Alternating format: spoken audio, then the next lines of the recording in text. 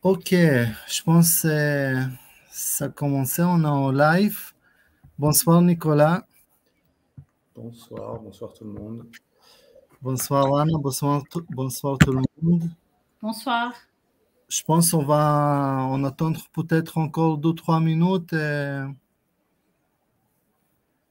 On a quatre participants. Je pense qu'il y a il y a encore quelques participants qui vont arriver bientôt. Alors, on attend deux minutes et on commence. Ok, On fait comme ça.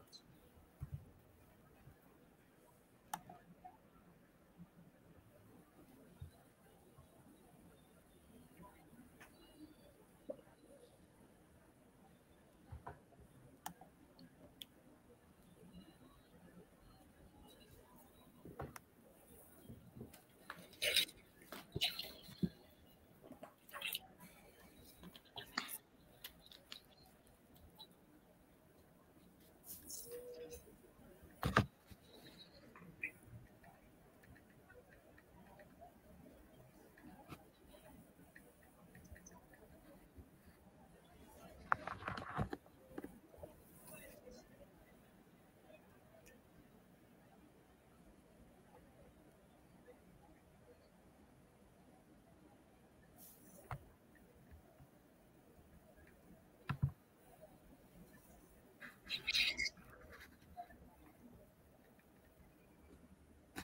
you.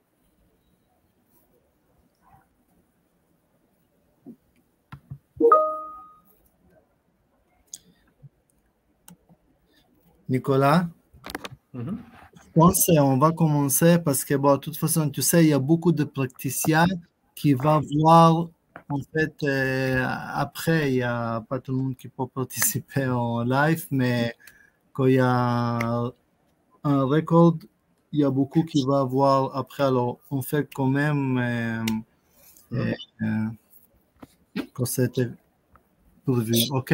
Ça marche. OK, nickel. Bah, super, bah, commençons. Et ben, tout d'abord, euh, bah, bonjour à tous à nouveau. Donc, euh, moi, je m'appelle Nicolas Eby. Euh, donc, je suis ingénieur biomécanique et kinésithérapeute. J'appartiens au groupe Digital Zortec. Euh, donc, euh, donc voilà, on est aujourd'hui là pour euh, faire notre, notre petite réunion mensuelle, pour vous, webinaire plutôt mensuel, pour vous présenter un petit peu le produit, ce qu'on peut en faire, comment, comment comprendre les données, voilà, comment les analyser, les interpréter, comment jouer avec l'interface web principalement.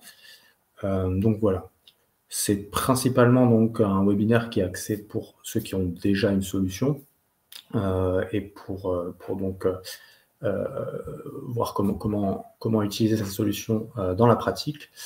Mais c'est aussi bien sûr ouvert aux personnes un petit peu curieuses et qui, qui voudraient euh, qui hésitent à, acheter une solution et qui veulent avoir un petit peu plus d'informations sur, sur ce qu'on fait. Donc je vais juste re-résumer très rapidement. Donc euh, voilà, à Digital, qu'est-ce qu'on fait finalement? Euh, Donc on a des, un produit qui, qui sont des, des, semelles connectées, des semelles avec des capteurs dedans. Et euh, avec ces semelles, on est capable de faire différentes analyses du mouvement. Euh, donc le but était vraiment euh, de transformer tout ce qui est les, des technologies des laboratoires, telles de la motion capture, tout ça, qui, qui, qui sont capables de faire des analyses précises, de transformer tout ça et de, de le rendre accessible dans, euh, dans des cabinets, dans, dans la vie de tous les jours pratiquement, euh, puisque, euh, puisque c'est quelque chose de facilement transportable et de plus accessible que, que, des appareils coûteux dans des laboratoires. Donc nous, on, fait de l'analyse de marche, de l'analyse de course et de l'analyse de saut. Et aujourd'hui, je vous propose de, de, voir un peu plus en détail l'analyse de saut. Donc l'analyse de saut, c'est quelque chose qu'on a développé et qui est dans nos applications depuis 8 mois, quelque chose comme ça, 10 mois, septembre dernier. Euh, et on va, passer en revue en fait euh, ces différents sauts. Donc je vais tout d'abord euh, partager mon écran. ainsi vous verrez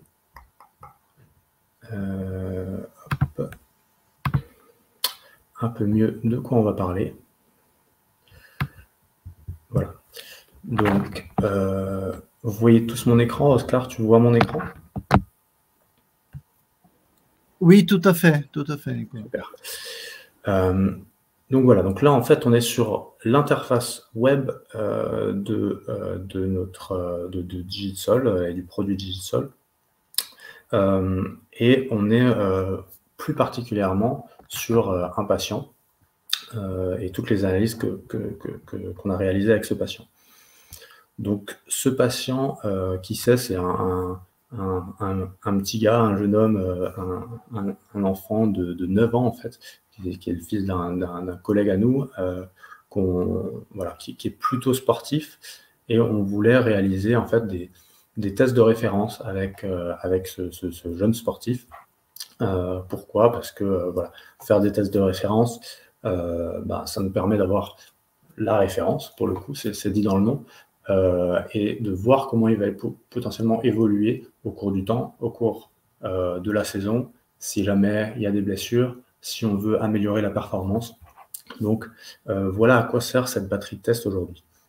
Donc le patient, comme dit, jeune, sportif, c'est un, jeune garçon, impliqué dans différents sports plutôt haut niveau. Donc il, nous, vient des US, donc bien sûr il fait du baseball principalement. Euh, et, voilà. Donc, nous, on va principalement euh, se focaliser sur les sauts. On a différents types de sauts avec euh, l'application Digitsol. On a des counter movement jump, on a des single hop, on a des triple hop et on a des side hop. Donc, le processus pour réaliser des sauts, c'est pareil globalement que euh, pour euh, de la marche ou de la course. En fait, on a une application, euh, que ce soit Android ou sur iOS.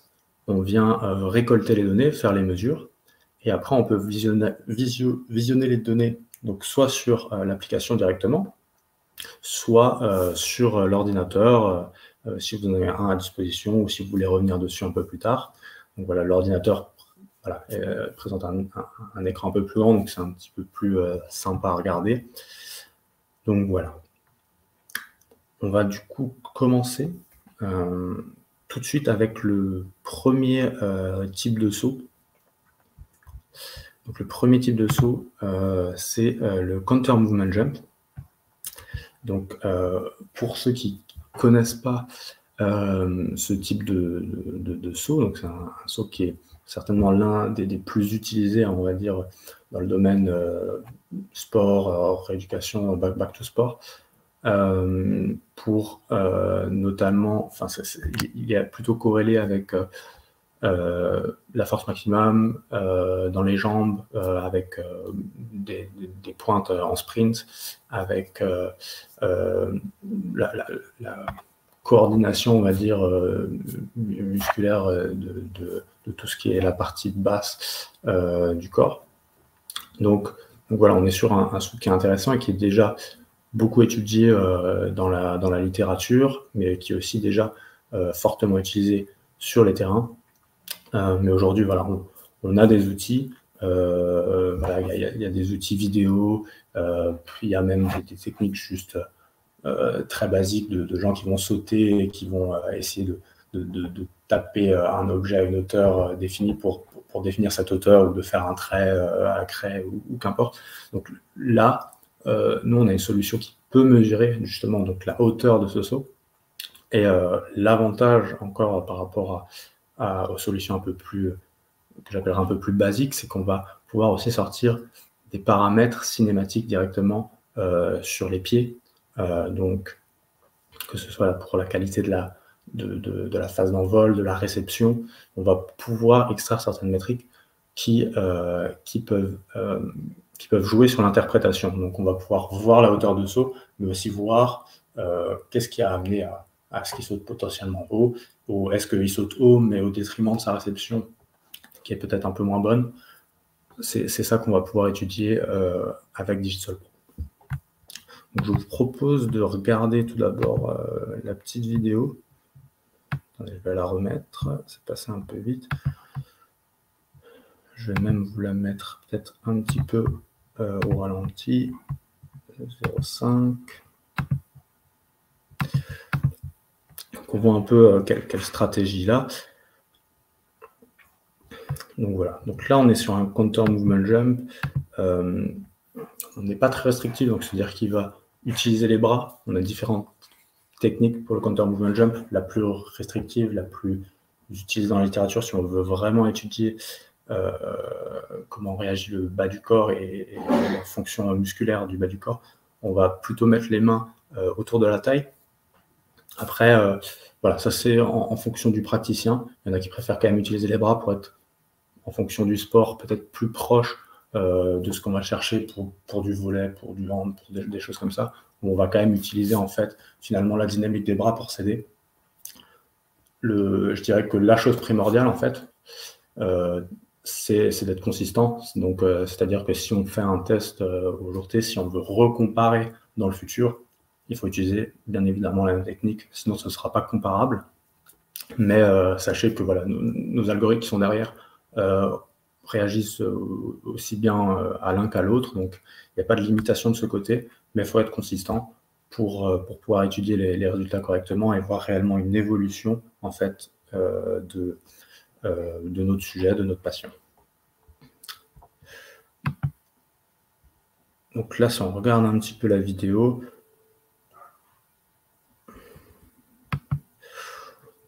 on voit qu'il voilà, il, fait son petit saut, il ne fait pas forcément, forcément gaffe à, la, réception. On va voir si on retrouve ça aussi un petit peu dans les données.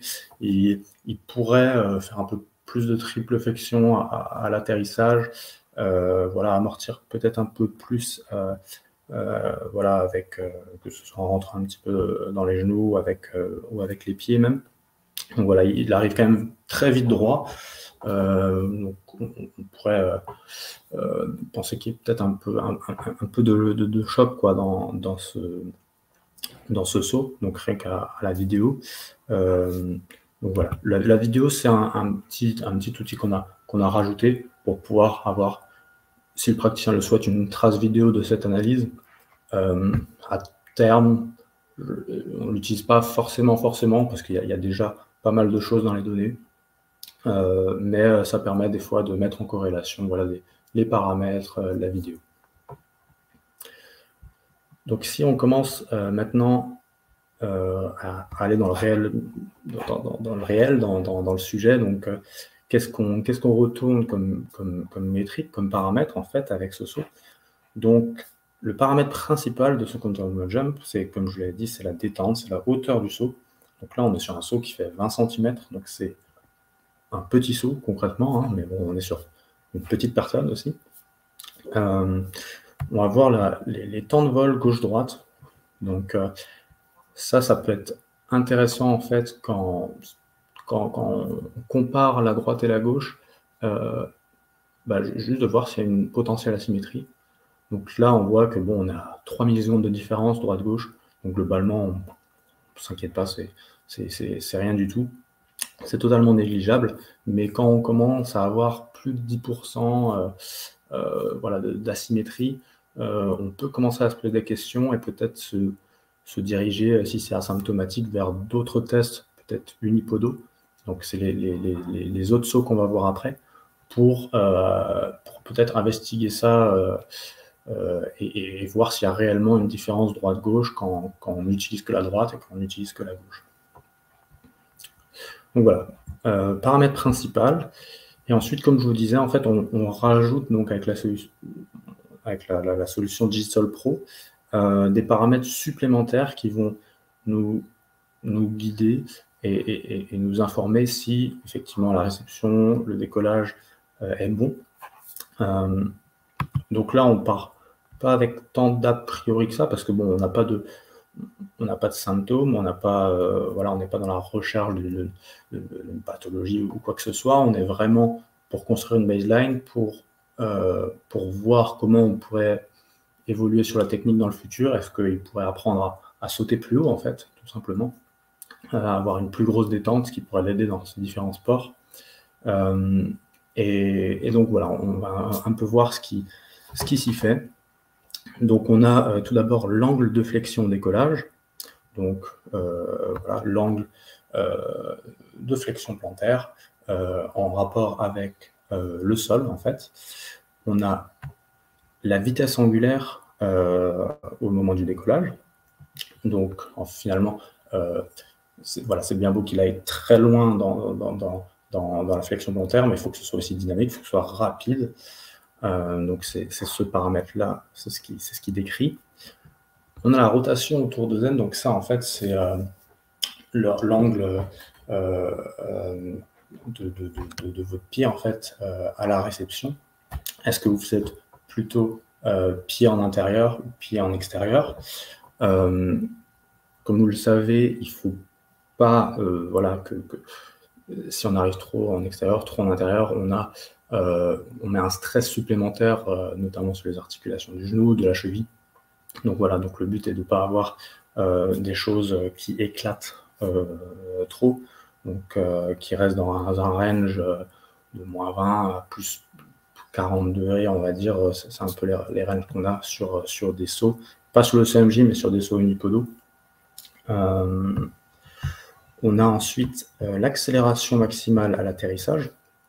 Donc, pour ceux qui, qui, qui, qui, regardent un petit peu tout, ce qui est course et qui s'intéressent aux, métriques, donc on a souvent des forces d'impact ou du VLR, des choses comme ça à la course. Euh, donc là, actuellement, avec euh, les algorithmes qu'on a dans le milieu biomécanique, on n'est pas capable de ressortir réellement de la force sur, sur l'atterrissage du saut. par contre, ce qu'on sort, c'est une, mmh, mmh. une, accélération euh, donc en, G, en unité euh, de, de gravitation terrestre, euh, pour, pour voir en fait juste s'il si, si, si, passe une bonne décélération ou si vraiment la, décélération se fait très mal et on pourrait voir du coup pareil une asymétrie droite-gauche sur ce paramètre-là. Ensuite, on a l'angle de flexion à l'atterrissage. Donc là, voilà, tout est dit. Comme euh, l'angle au décollage, on a le même à l'atterrissage. Et ensuite, on arrive plus euh, sur un autre axe. Donc, euh, à l'atterrissage, on a les angles de pronosupination. Donc, voir en fait plutôt comment, comment voilà, il atterrit. Est-ce qu'il est plutôt en pronation ou plutôt en supination? Et le dernier paramètre, ça va être la stabilité au contact. Donc là, on va être on va regarder en fait une fenêtre de 200 millisecondes après l'atterrissage et on va regarder quelle est l'amplitude maximum en fait euh, de ce pied en pronosupination. Ce qui va nous indiquer si en fait il, il oscille beaucoup ou il aussi en fait dans des grandes proportions à l'atterrissage ou non. Euh, donc voilà, donc là je suis passé rapidement euh, sur ces résultats. Donc qu'est-ce qu'on y voit? Globalement, les angles de flexion au décollage droite-gauche sont voilà, un petit peu différents euh, de gauche à droite, mais ça reste, euh, voilà, ça 5 degrés de différence. On est en proportion pas, euh, pas, pas énorme. vitesse au décollage, pareil, on a une petite différence, mais, mais, mais rien d'alarmant. On, suspecte rien entre la droite-gauche. Voilà, on voit que, les temps de contact sont à peu près similaires, euh, rien d'affolant. La rotation autour de Z, elle est plutôt bonne, voilà, elle est centrée autour de 0. Donc on ne s'inquiète pas non plus là-dessus. Petite différence aussi euh, à l'accélération à l'atterrissage. Il prend un peu plus à droite.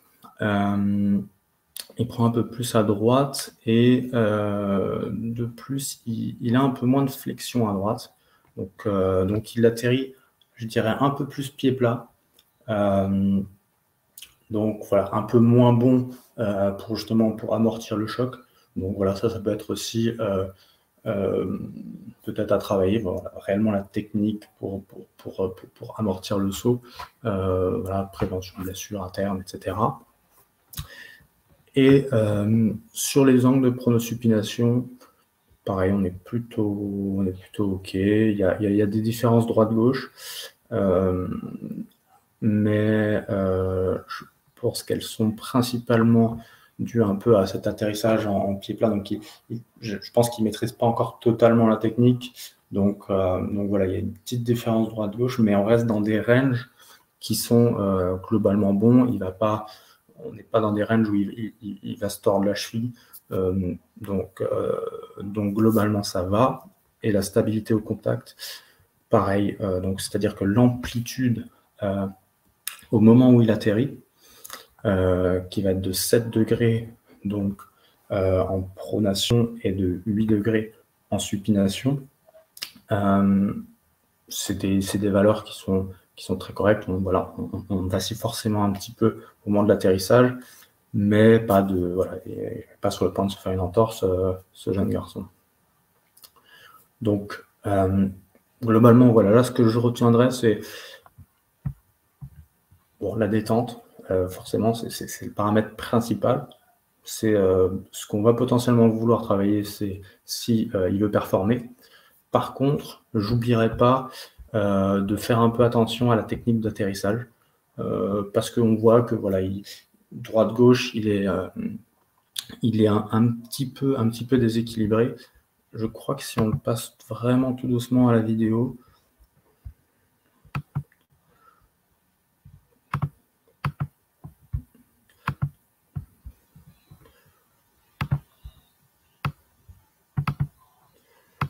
Si on passe en 0,25, je crois qu'on voit qu'il atterrit si, vous voyez avec la résolution, il atterrit d'abord avec euh, pied droit. Donc il prend, il prend un peu plus pied droit. Un peu, voilà, il est un petit peu, un petit peu désaxé. Donc voilà, je pense que voilà, si, on, travaille un peu de technique avec ce, garçon, il, pourra sauter plus haut, mais voilà, faire un petit peu attention à, sa technique. Après, euh, voilà, il, est jeune, il fait pas forcément attention à, ce genre de choses. Euh, mais voilà, c'est des axes sur lesquels on peut travailler. Donc voilà, ça c'est euh, comment, euh, comment je décortiquerais, on va dire, euh, le compteur movement jump sur un jeune patient comme ça. je ne sais pas s'il y a déjà des questions qui sont intégrées. Dans, non, pas encore dans le chat. mais si jamais vous pouvez, si jamais vous avez des questions, n'hésitez pas à écrire dans le chat et, voilà, on essayera d'y répondre avec Oscar. Mais euh, voilà, s'il n'y a pas de questions, moi je vais enchaîner maintenant sur le CMJ parce que, euh, pardon, on a vu le CMJ, je vais enchaîner sur les, autres sauts, les sauts unipodo, où j'ai euh, j'ai hâte de voir aussi s'il y a un peu des asymétries droite-gauche, si justement il, utilise les mêmes techniques motrices, voilà, droite-gauche, est-ce qu'on va voir des choses? Donc, si je reviens en fait sur, sur le tableau de bord où il y a toutes les acquisitions qu'on a fait avec ce patient, donc on voit, on a, a deux CMJ là. Euh, ah, on en avait fait deux avec celui-là. On peut d'ailleurs, euh, si vous êtes un petit peu nouveau sur l'interface web, on a une, fonctionnalité pour comparer aussi euh, du résultat. Donc si vous avez une analyse que vous avez fait dans le passé, une nouvelle, vous allez pouvoir voir en fait, donc c'est daté à chaque fois, hein. donc voilà le 7 juin à 21h47, et euh, trois minutes après, on en a fait une autre. Voilà, juste pour que qu'on prenne un petit peu la technique. Et euh, voilà, on voit que trois minutes après, juste en réexpliquant un petit peu, en, revoyant un petit peu la technique, il a sauté un petit peu plus haut. Euh, voilà, après 2 cm, ça reste une petite progression, mais bon, sur 20 cm, c'est notable. donc voilà, à voir comment évolue ce garçon. Mais voilà, cette, cette, fonction comparaison peut être intéressante pour pour les différents paramètres. Quoi. Ça, ça, nous permet euh, d'avoir euh, sur une page le visuel des, deux analyses et de pouvoir rapidement euh, comparer l'évolution d'un patient.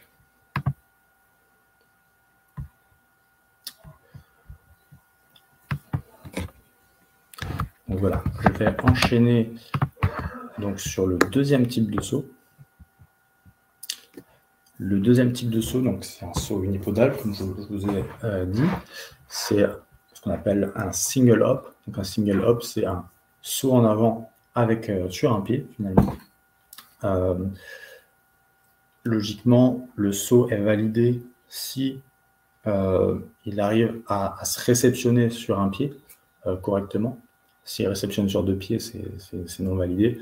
S'il voilà, se casse vraiment euh, s'il se casse trop la gueule après, après le saut, euh, on est sur quelque chose de valide. Donc c'est vraiment un saut contrôlé. On doit sauter le plus loin possible en contrôlant euh, sa réception. Et voilà, et on a aussi du coup le triple hop que je vais décrire après, qui est finalement en fait l'évolution un peu de single hop. Single hop, c'est un peu la première étape, c'est un saut. Le triple hop, en fait, ça va être même principe, on se met sur une jambe et on fait par contre un triple mont euh, sur une jambe. Et pareil, la réception au troisième saut doit être contrôlée. Par contre, entre le saut numéro 1, 2 et 2, 3, là, le but, c'est d'être dynamique. Donc, c'est vraiment d'aller chercher euh, vite, le plus loin possible, et de réceptionner le troisième saut. Voilà. Donc là, on est sur du single hop. Euh, qu'est-ce qu'on va chercher? Donc, le paramètre principal du single hop, ça va être en fait la longueur du saut. Donc, euh, on va chercher la longueur du saut et on va surtout venir voir s'il y a pareil une asymétrie droite-gauche. Si, euh, saute beaucoup plus loin à droite qu'à gauche, ça peut, voilà, ça, doit nous, nous faire penser à, quelque chose. On doit se dire, il y a peut-être quelque chose à investiguer.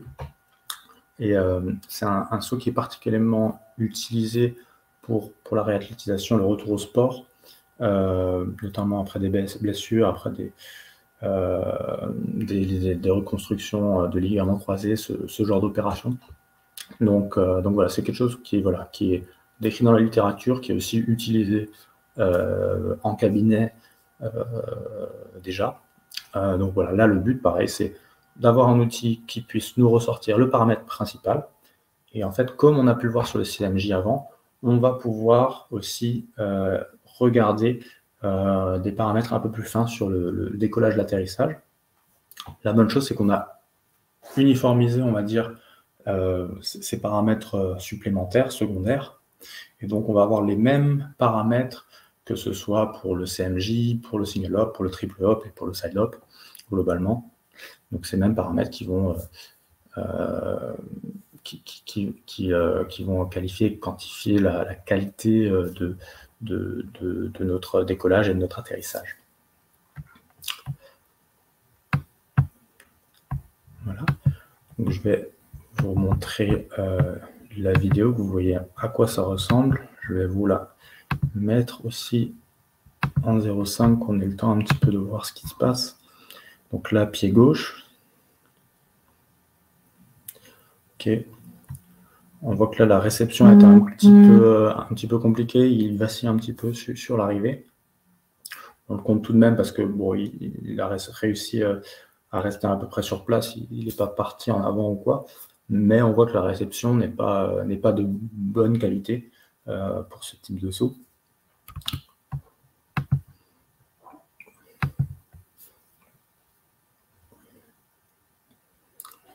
Là, le droit, par contre, euh, voilà, il, s'est vraiment appliqué sur, la réception, enfin appliqué. Il, est vraiment allé en un bloc avec le pied là et, s'est stabilisé, peut-être même un peu trop en un bloc, mais, euh, voilà, il n'a pas bougé avec, euh, avec son pied droit. Qu'est-ce qu'on voit? Donc notre paramètre principal, c'est la distance, comme je vous l'ai dit. Donc on voit qu'il a sauté un peu plus loin à gauche. Euh, on a une symétrie à 94%, donc rien de très inquiétant, euh, comme dit. Nous, ce qu'on a un petit peu comme norme, c'est en général du 10%. Si on commence à avoir 10% d'asymétrie droite-gauche, euh, en général, voilà, c'est un peu une contre-indication pour le retour au sport après justement des, des ligaments croisés, ce genre de choses. Donc voilà, une petite différence, il saute un peu plus loin à gauche. Euh, on va voir si on retrouve ça un peu dans les paramètres plus bas. Donc on voit le temps de vol est logiquement aussi un peu plus long à gauche. Et on va retrouver des angles de flexion-décollage qui sont plus ou moins similaires. Donc là, pour un degré de différence, on, passe, on passe dessus, il n'y a pas grand-chose à extraire. Euh, il pousse un peu plus à gauche, on voit que la vitesse de décollage est quand même plus élevée à gauche. Euh, et euh, par contre, les angles pronosupination, là, on voit que ça commence à être un peu élevé sur la gauche. et on le voit aussi à la stabilité. Donc c'est un peu ce qu'on voit à la vidéo. L'atterrissage côté gauche était pas, pas maîtrisé. Euh, pas très bon, donc forcément ça se, retrouve sur les résultats.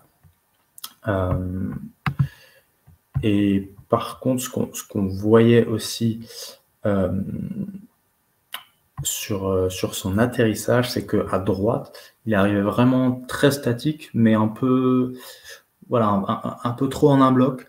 Et voilà, c'est ce, que je suspectais un peu. L'accélération est quand même assez élevée à droite pour le coup. Euh, il est venu presque un peu pied plat en fait. Euh, et voire en fait plus même talon. Euh, et donc forcément il n'a pas un très très bon amorti sur le côté droit et ça se ressent là sur l'accélération à l'atterrissage qui est, bien plus haute pour le coup que, que, le côté gauche puisqu'on a un facteur, ouais, on est à 40% de différence pratiquement. Donc, euh, donc voilà.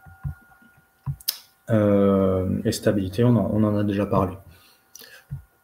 Donc sur le single up, globalement, il saute un peu plus loin à gauche, il maîtrise pas très bien sa réception.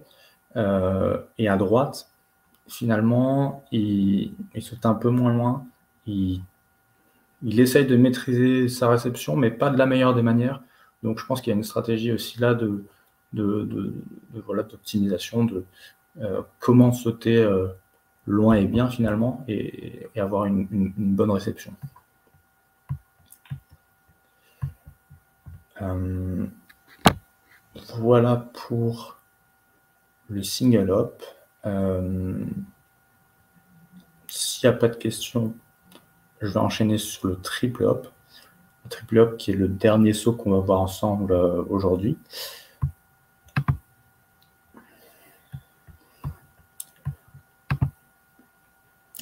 Globalement, le single hop et le triple hop, donc le single hop, il va souvent, euh, intervenir un peu plus tôt dans le, dans le processus de, retour au sport, euh, puisqu'il est moins, euh, moins contraignant, moins contraignant, moins stressant pour, pour tout, les articulations, le, le, bas du corps. le triple hop est la version un peu plus, voilà, un, peu plus hard euh, dans le sens où on va déjà avoir un peu, de dynamique. On va chercher à, avoir aussi les, temps de contact. C'est le paramètre en plus qui est important par rapport au single up, puisqu'on va avoir des temps de contact euh, droite-gauche. On va pouvoir voir aussi euh, bah, la stratégie qu'a notre patient sur comment il amortit et rebondit. Donc, sur, cette phase dynamique, est-ce qu'il est bon euh, ou pas Est-ce qu'il présente des différences droite-gauche Je vous remontre là ici. Pareil, la vidéo, je vais la mettre de nouveau un peu plus lente.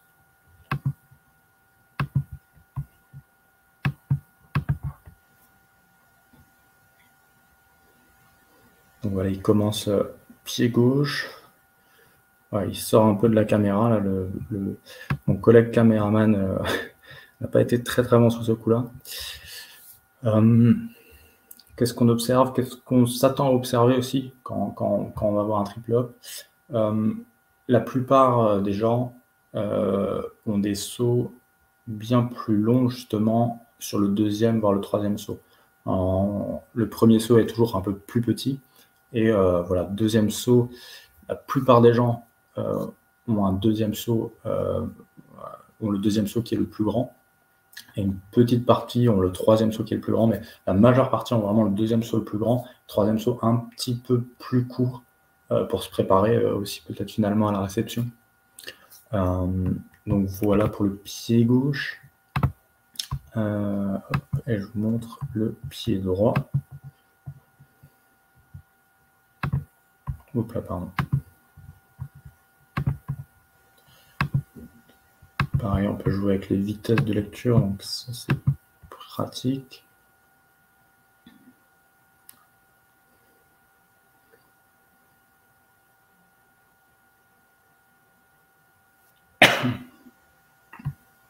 Ok, pareil, une, instabilité à droite. Mais euh, ce qu'on va surtout regarder, euh, c'est la distance en fait, comme avant. Euh, et là, on voit qu'elle éclate un petit peu. Donc, il y a quand même une, différence plutôt marquante gauche-droite. Euh, on va chercher à savoir pourquoi. Euh, et alors là, pour moi, c'était déjà plutôt flagrant sur la vidéo, mais, mais il y a des cas où ça l'est un petit peu moins.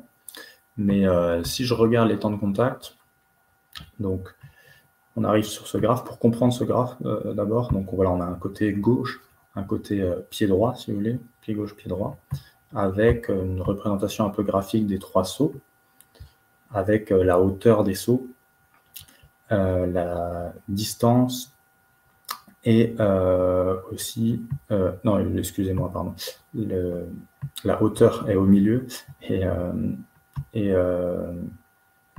et non, toujours pas. je perds mes mots. Donc on a, excusez-moi, les longueurs de saut, pas les hauteurs, les longueurs de saut qui sont euh, voilà, respectivement entre les pieds, donc à droite et à gauche.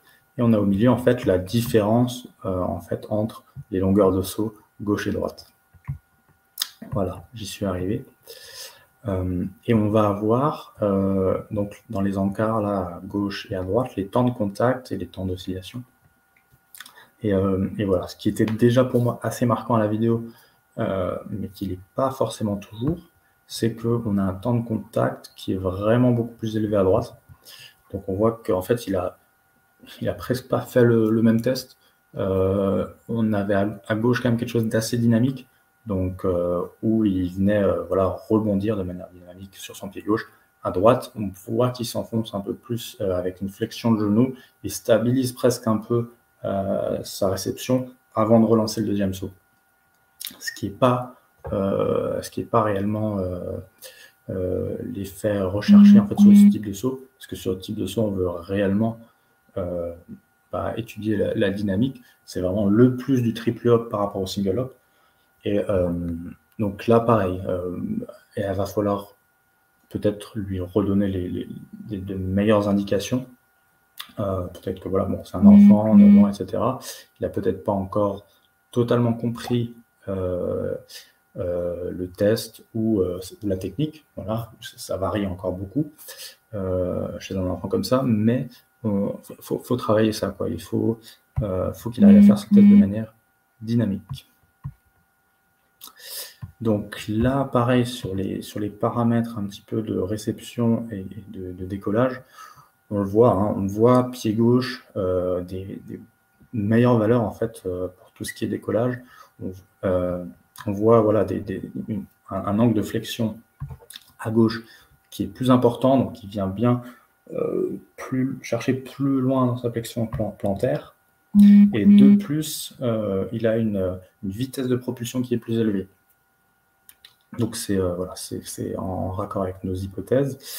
Et, et sur la réception, pour le coup, les deux, valeurs me paraissent cohérents. Il n'y a pas de gros, gros problèmes euh, sur les stabilités, sur les angles de pronosupination à l'atterrissage. Par contre, ouais, assez marquant sur, sur euh, tout ce qui est décollage, là, une grosse différence droite-gauche. Quand on va cette fois-ci dans, dans l'onglet avancé, mmh. euh, on voit cette fois-ci le détail saut par saut. Donc, euh, vous voyez, en fait, donc on a un G, un D donc pour gauche-droite, et on a un numéro, donc 1, 2, 3 pour saut, 1, 2, 3. Et donc là, voilà, on, peut éventuellement euh, voir s'il y a aussi des différences entre les sauts. La, stratégie qu'il utilise, justement, est-ce que bah, son deuxième saut, euh, voilà, il saute moins loin, il y a une différence entre droite et gauche, ce genre de choses. On, va pouvoir le, voir en détail ici, mais globalement, la tendance est la même hein, pour les trois sauts. une meilleure propulsion en fait à gauche sur les trois sauts. sur les angles, ça varie un peu selon les sauts, mais il n'y a, rien d'alarmant. Moi, ce qui, ce, qui, me saute aux yeux là tout de suite, c'est euh, ce, décollage euh, qui est bien plus, euh, bien plus conséquent, qui a des bien meilleures valeurs à, gauche. Oui, voilà. Donc globalement, sur le, sur le single up, euh, on avait des valeurs déjà un petit peu plus hautes à gauche. Là, sur le triple up aussi, on a un peu d'asymétrie. Euh, rien de, bien alarmant parce qu'on est dans un cas où, comme dit, c'est un, patient qui est asymptomatique, il n'a pas de soucis de santé, il est jeune, il a 9 ans. Euh, mais voilà, ça nous fait une baseline. on pourra travailler sur certains des points, la réception, le dynamisme, ce genre de choses. Euh, pour, euh, ben, pour lui permettre de progresser euh, mm-hmm. et, et, et, voilà, potentiellement de, sauter plus loin, plus haut, d'avoir une meilleure dynamique, ce qui, ce qui l'aidera aussi dans, dans ces sports. Donc voilà, moi j'arrive à terme de ce que je voulais globalement présenter. Il y a un type de saut, tout de même qu'on n'a pas présenté aujourd'hui, qui est le side-up on pourra le présenter euh, dans le futur si vous voulez. Donc le side-up, c'est un saut aussi unipodal mais qui est euh, latéral. Donc le but est de sauter en fait entre des, des tapes, des scotch ou quelque chose, euh, des marques qui sont placées à 40 cm de distance.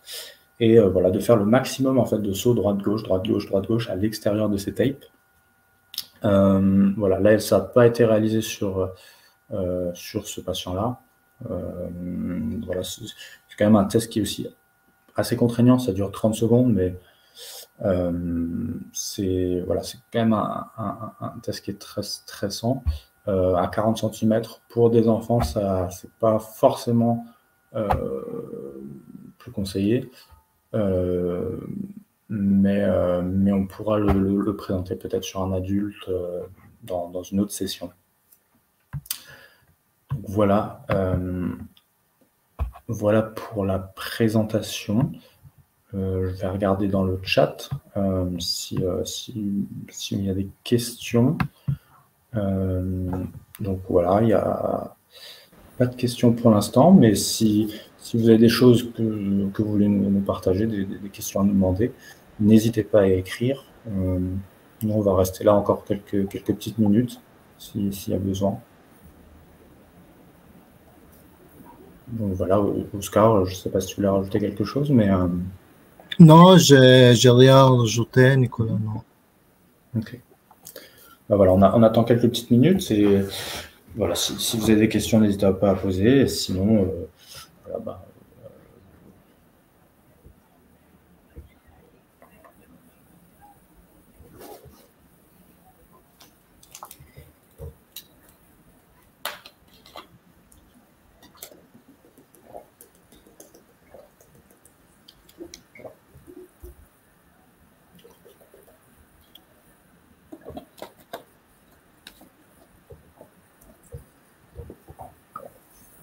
Nicolas, je pense qu'on peut terminer cet euh, webinaire. Mhm. je, pense que effectivement, il n'y a, pas de questions dans le chat. Donc, euh, bah, je vous remercie euh, tous de, votre attention.